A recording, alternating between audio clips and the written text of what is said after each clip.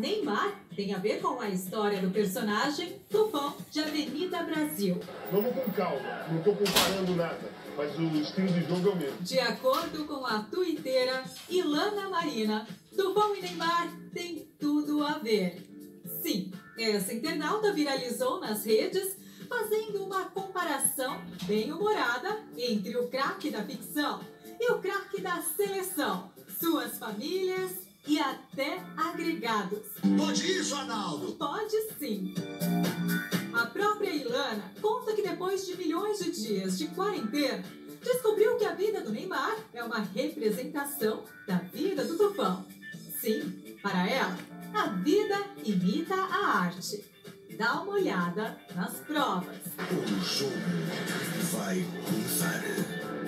Para começar, ela fala do principal jogador, o Tufão. Ele é o provedor da família, que ganhou tudo com o futebol, mas continua com aquele jeitão do subúrbio, sempre amado dentro e fora do campo.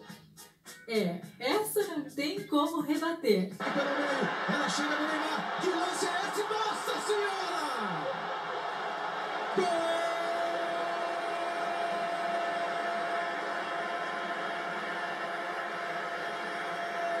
Em seguida, ela põe a mãe em campo. Ela define Murici, a mãe do Tufão, como uma mulher bonita, perua, que ama os filhos.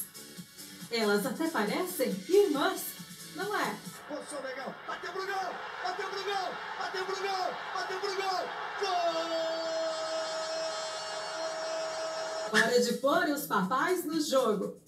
A tuiteira fala da fama de garanhão do Leleco, dos conselhos que dava pro filhão cuidar da carreira.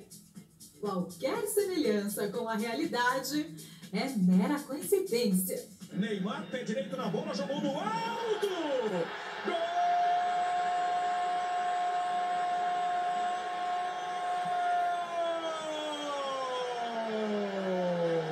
As irmãs não ficaram só na torcida, não. Ivana é super apegada ao tufão, mas não tinha sorte no amor. Sabedores saberão do que ela está falando. De frente no peito na entrada da área. Neymar, bonito pro gol!